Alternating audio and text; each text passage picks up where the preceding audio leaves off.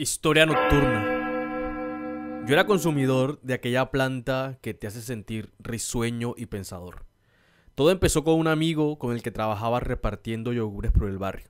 Era un trabajo pesado porque nos tocaba arriar a pulso un carro repleto de potes de esos. Un día él me dio para consumir de eso. Yo al principio no quería, pero terminé aceptando. ¿Y para qué? Sentía que la jornada en ese estado me rendía más y que cuando llegaba a la casa podía descansar bastante. Pero una noche comenzó a pasar algo extraño.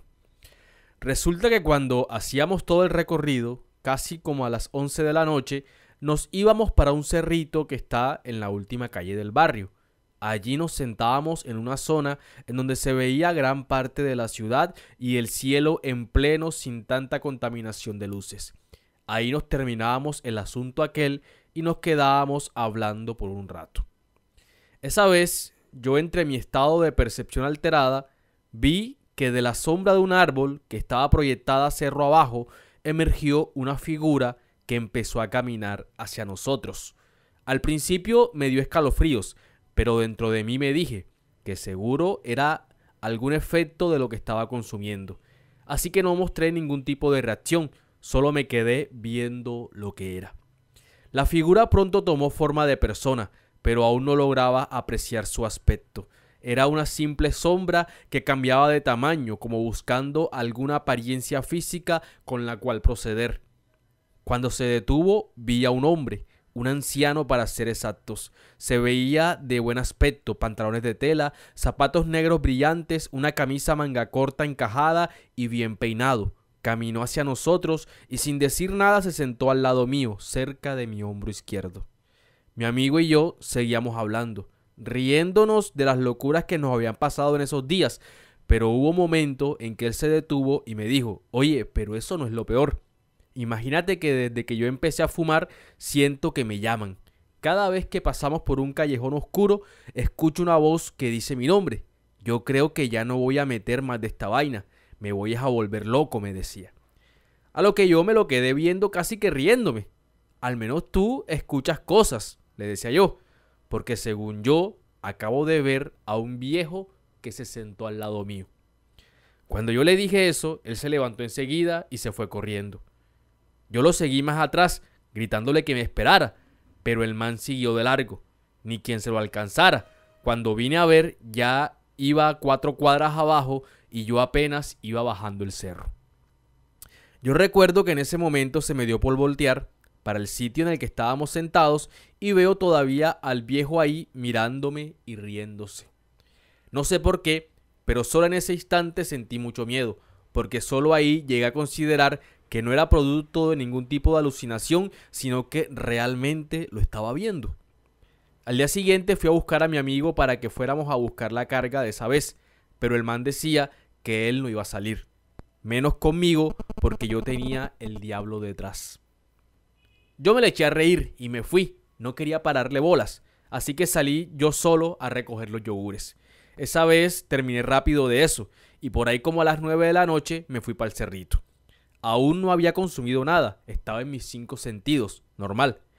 Pero ahí estaba yo, sentado donde siempre, cuando saco mi vaina para aprender y de repente siento que el que es se me sienta al lado.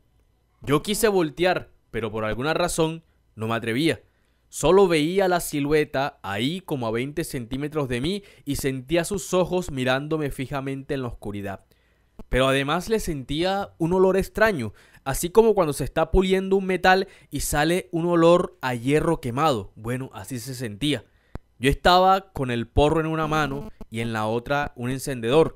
Estaba tieso, con la mirada puesta enfrente, casi que sin respirar, cuando de repente el que es me dice, ¿por qué no me miras de frente esta vez? Y luego una risa pausada y ronca.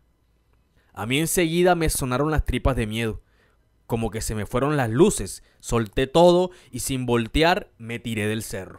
Me caí como tres veces bajando, me raspé la cara, me corté una pierna, se me rompió el pantalón y cuando ya estaba abajo, acomodándome un zapato que se me había salido, que una señora sale en ese momento de una casa de la esquina a preguntarme que quién era yo, que qué hacía ahí, escucho otra vez la risa detrás de mí, una risa clara de burla.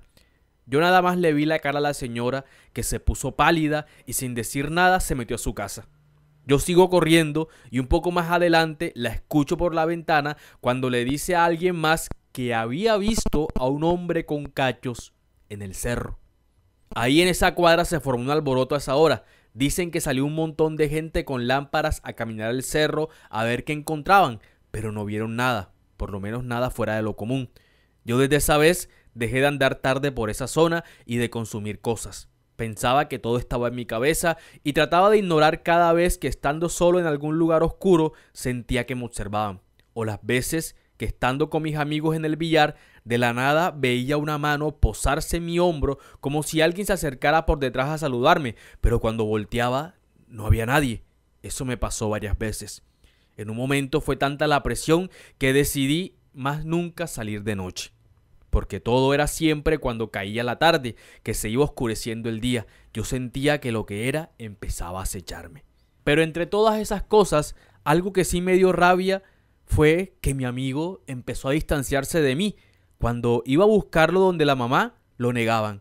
Cuando llegaba a algún sitio donde él estaba, se iba. Y así, me tocó entender que el man simplemente ya no quería andar conmigo. Sinceramente nunca pensé nada malo. La gente a veces tiene sus propios planes uno debe entender eso. Pero a mí sí me llamó la atención que apenas dejé de trabajar con los yogures, el man regresó a vender. Cuando dejé de ir al club que teníamos de fútbol sala, el man empezó a ir. Y un día cualquiera fui a buscar a mi novia y me la encuentro con él así como si nada. Vea, yo no me quise estresar con eso, sinceramente. La envidia y la maldad son cosas que uno no puede evitar. Una mañana me llegó un mensaje de un primo para ir a hacer un trabajo en un pueblo de Urabá. Y sin pensarlo dos veces me fui. No tenía nada que perder. Yo allá tengo familia del lado de mi mamá. Cuando me vieron todos pusieron cara de asombro. Estaban aterrados con mi apariencia. Era como si no me reconocieran. Yo hasta ese momento no había caído en cuenta lo mucho que había cambiado mi aspecto físico.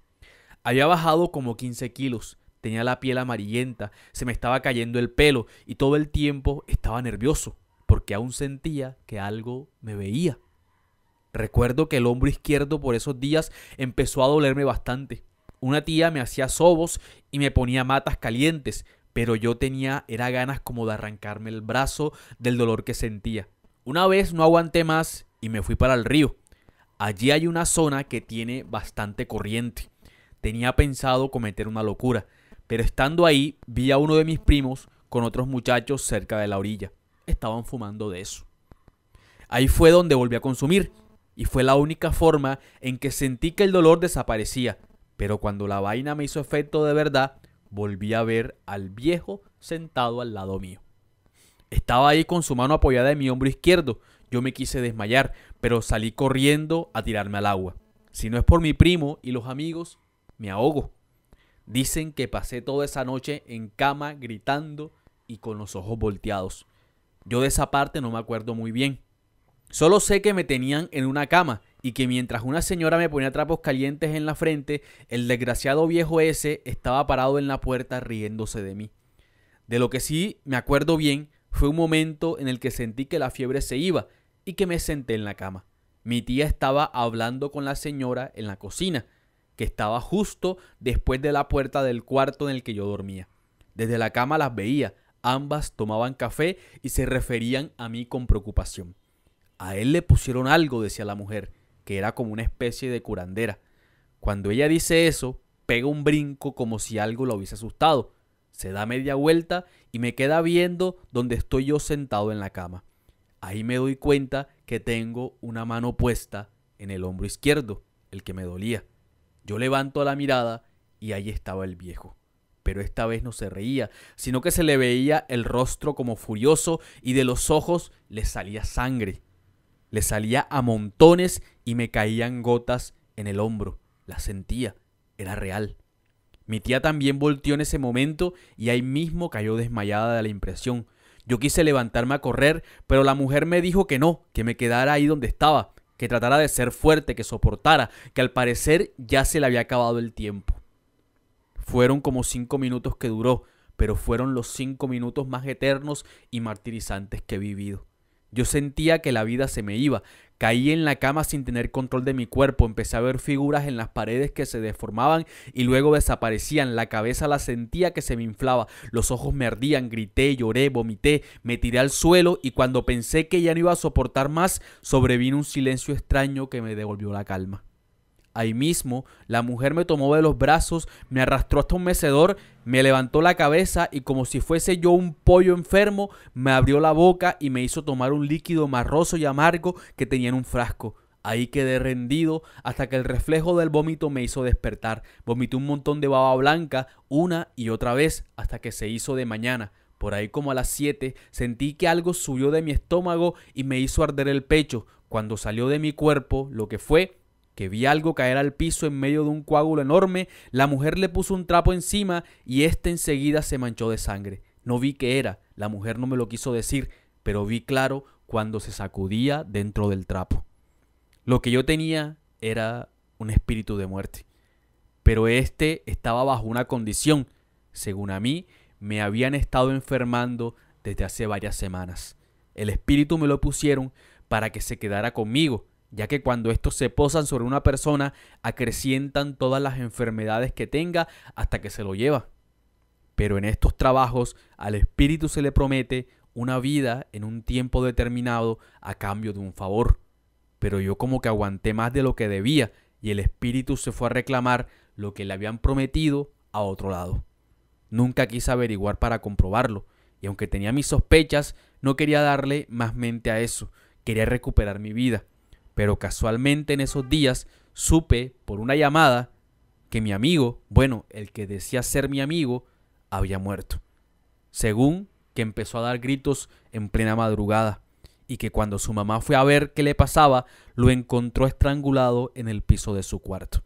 Nadie explica qué fue lo que realmente pasó.